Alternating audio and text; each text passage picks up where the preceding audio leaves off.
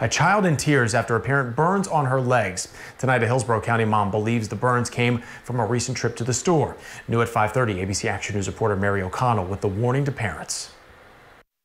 Last week, Bobby Eden says she brought her 18 month old daughter, Finley, to Walmart in Gibsonton. We were in the store for maybe 10 minutes and she became extremely irritable and crying. Later, her wife found big marks on her daughter's legs and arms. She says their doctor told them the marks looked like chemical burns. Edens thinks it came from the cart her daughter sat in. She says she then spoke to a store manager. She advised to me at that point, um, you know, kids have sensitive skin. Uh, they do use an ind industrial type sanitizer that they spray on the carts. This was brought down from corporate due to the COVID 19.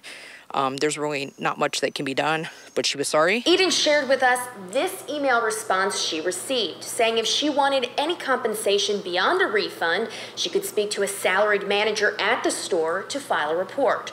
But Edens tells me she's not in this for money these chemicals can have an impact. We just need to do things the right way and maybe a little bit more safer. We've reached out to Walmart about the mother's claims. We're still waiting on a response. It's a little sore to sit down sometimes, but other than that, I mean, she's a normal 18 month old. While we wait, Edens wants other parents to take extra precautions the next time they walk out the door. Look into cart covers, blankets, taking baby wipes, and doing like a thorough wash down of the cart before you put your kid in it. In Hillsborough County, Mary O'Connell, ABC Action News.